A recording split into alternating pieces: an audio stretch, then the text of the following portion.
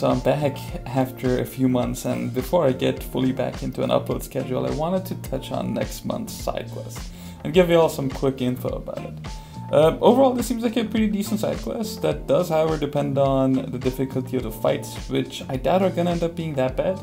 So if you do the daily quest, which by the way you can stockpile and can only do one difficulty, uh, along with the solo events, the event quests, and just logging in, you can get access to all the rewards.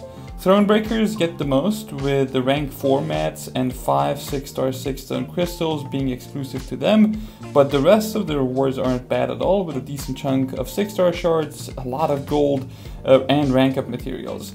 Uh, please let me know what y'all think about this month's side quest in the comment section down below. I'm very happy to be back. Thanks all so much for watching, and I'll catch y'all later. Bye!